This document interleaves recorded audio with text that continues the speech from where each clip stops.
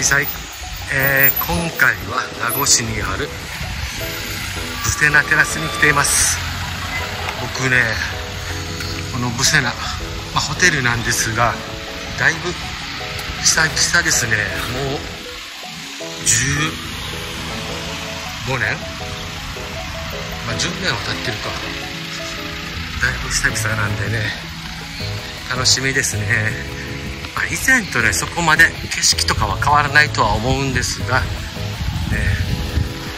また新しくなった場所とかもあると思うんでそういうのをね撮っていけたらいいと思います。こちら噴水でしょうか。勢いがね少ないけれど噴水ですね。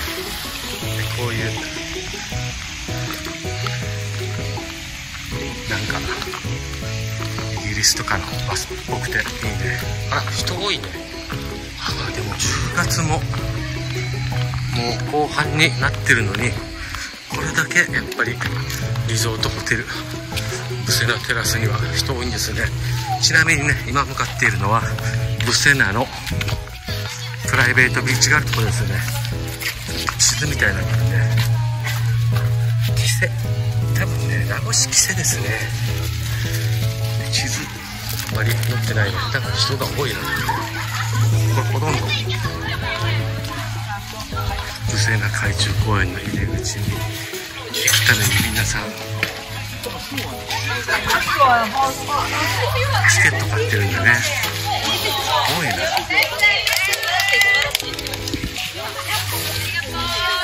はい。ブセナビーチですね。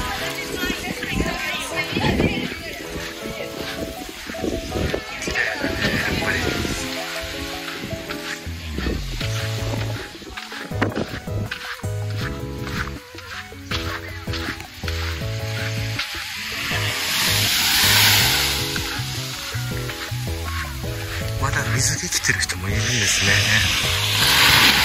まあねリゾートホテルが管理するビーチなんで、まあ、普通沖縄の市民ビーチっていうんですかそういったあっちこっちにあるビーチはね基本的今月10月いっぱいまでだったりするんですがリゾートホテルはね11月もしかしたら12月ぐらいまでねこういうこともできますよね。皆さんやっぱり。写真撮影とかするんですね。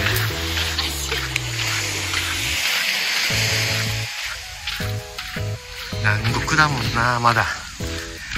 そう10月入って中旬ぐらいでも皆さんのところはなんか寒いとかって話ですよね。沖縄はまだまだ夏ですよ本当に。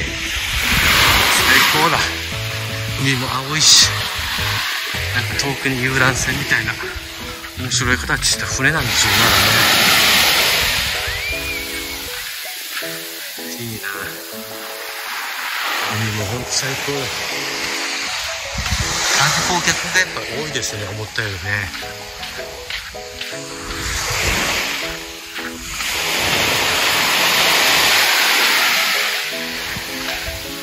綺麗だよな海。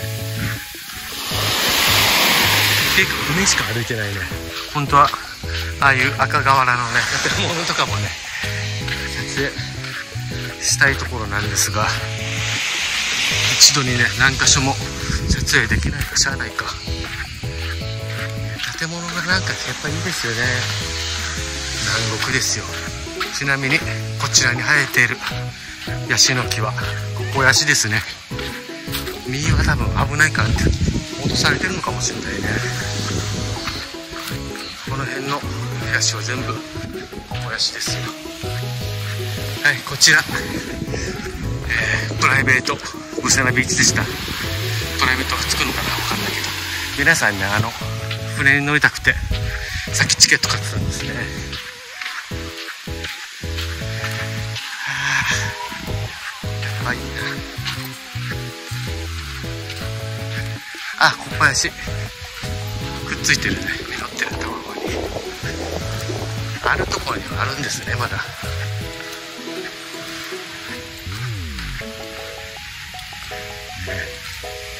いくつか実ってるね。落ちたりするのかな。あ下は。草むらだから。探すのは入らないといけないけれど。こんなねリゾートホテルまで来て。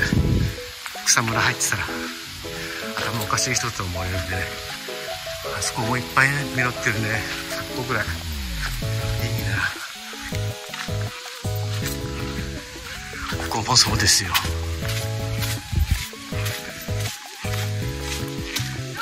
っぱ観光客めちゃくちゃ多いね。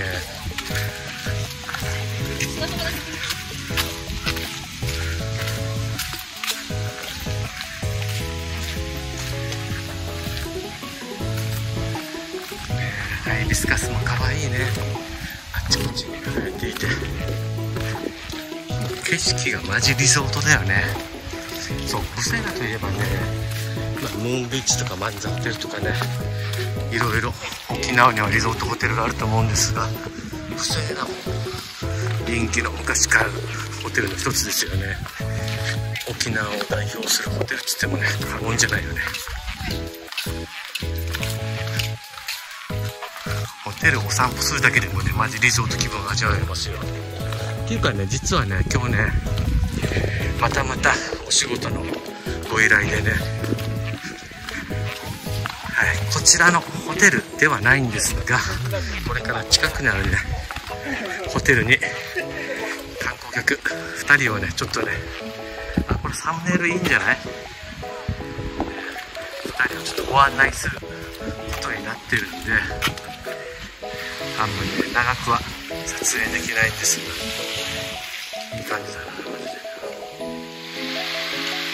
最高だなそう今日は名護市から元部あ実はねちょっと前にねヒロさんヒロ TV のヒロさんたちと元部とかは行ったんですがちょっとね元部の方に行きたいよってことなんで元部を案内しようかなと思っています。元部泣き陣あたりですね。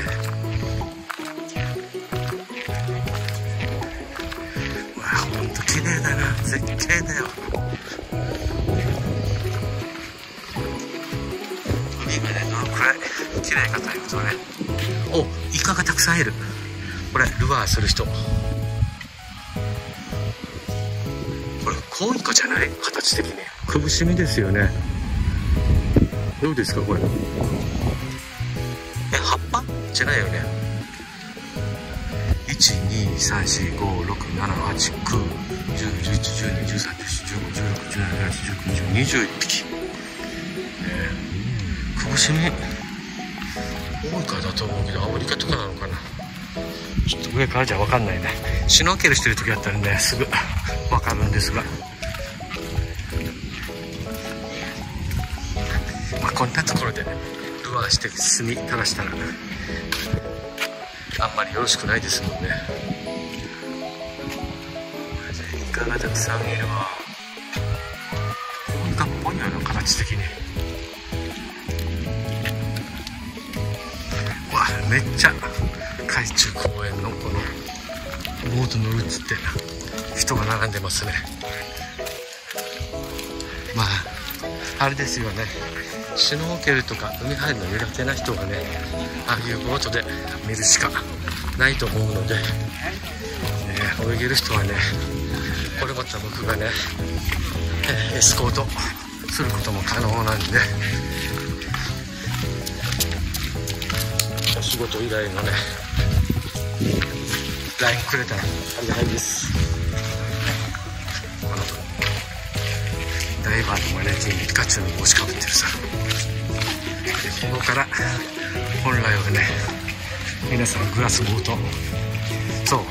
このボートねあの底が見えるようにねガラスになっててねグラスボートなんですよ。なので海の底を眺めたい人にはドサーフィン世界選手権昨日大会ってのもねここで行われたみたいですね。大きな怒りですがもう錆びてるねやっぱりね鉄なんで海も綺麗。だ何気ない海だけれどめっちゃ綺麗。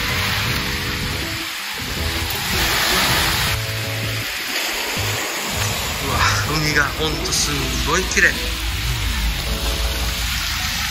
並ぶ価値は確かにあるかもしんないね。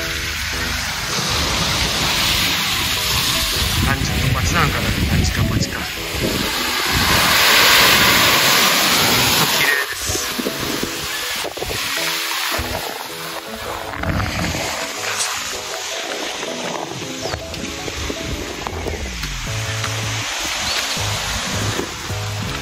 バスがねホテル内を案内というかね移動させてくれるんですがせっかくこんな綺麗な景色だから歩いた方がいいよななんて思うんですが2日目の人とかはまあ乗るか。マジ綺麗だよね海。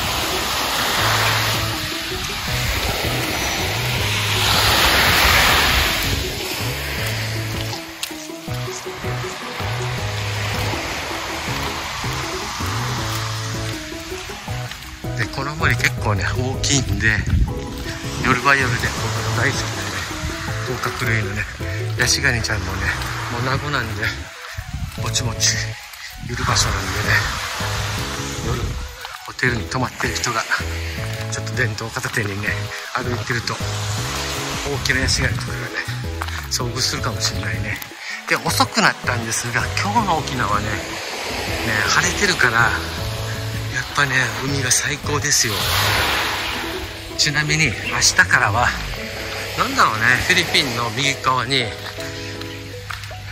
風風風レーダー風レーダーで風レーザーみたいなね、え風のね天気予報を見るとフィリピンのね右側で台風らしきね、まあ、熱帯なんでしょうがそれっぽい気圧があって渦を巻いてたんですよ。なのでまあもしかしたら今週末とかねあたりに場合によっては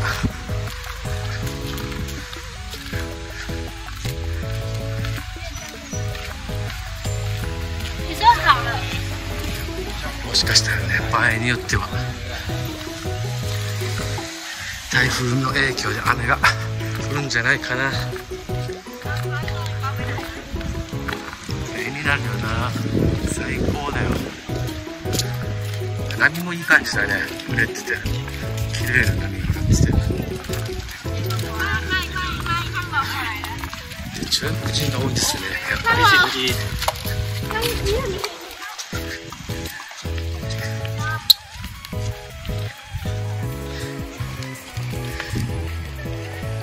綺麗だ本当に。で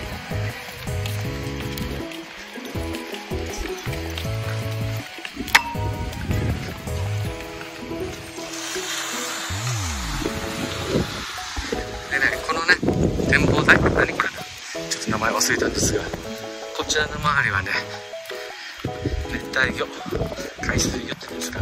結構ね昔僕の記憶ではねいっぱいお魚がいて綺麗だったイメージがあるんですが今実際どうなんでしょうね。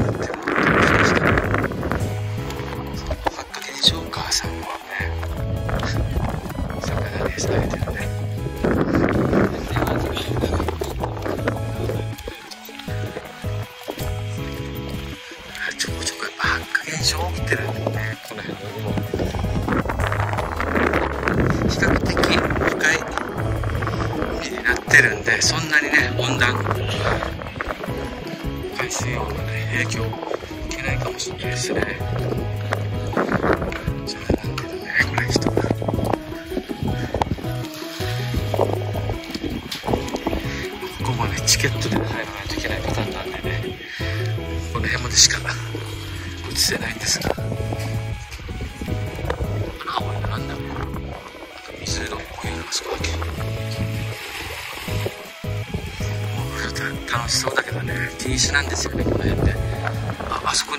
こに何だあれホンガラの仲間から。なんだろうな。スカチャーかな。ちょっと面白い模様のね魚が泳いでましたね。シジャータチウオなんだこの辺には細長い細い魚もいたり。やっぱ海好きだからついつい見ちゃうな。おそらくね。山城さ。あの僕のよく動画を見てかめっちゃここに魚がいるんだよな下にね。ただねこの中入ってからじゃないと見れないんだよね。めっちゃ魚いるよ。映ってるのかちょっと分かんないけれど画面中央あたりにね大きな。なんだろうなあれ。タマンとかあんな系なのかな。めっちゃ魚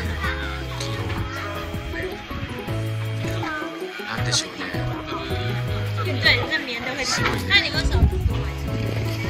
この辺は海が見えないのかなほらどこの海も沖縄結構漁港でもね普通に港でウミガメが呼吸するのとか見たりするんで入れたはもうけるタイミングでしょうねこの大きいのがめっちゃ集まってきてるやんなんだやっぱタマンか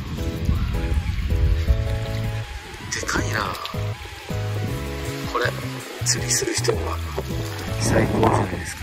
あれ頭がとんがってる魚がいるな。チルマンだっけあれ。めっちゃいるいいね。はい。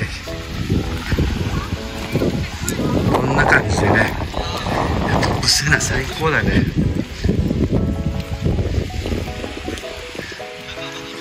ってる今もう。10分か。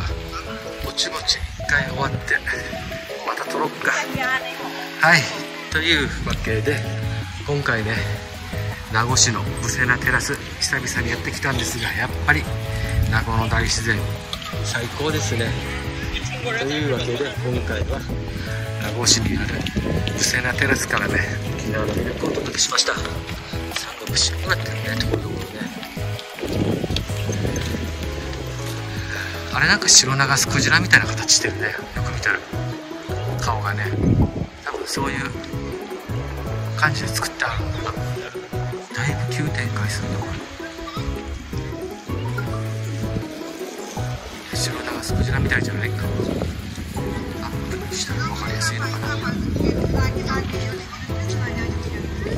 さっきのグラスボートですよねおそらくね。何体かいるんでねまた違う色のやつが。来るねと思うんではいというわけで今回は名護市の高性能テラスから沖縄の魅力をお届けしました。最後までご視聴ありがとうございます。じゃあまたねバイバイ。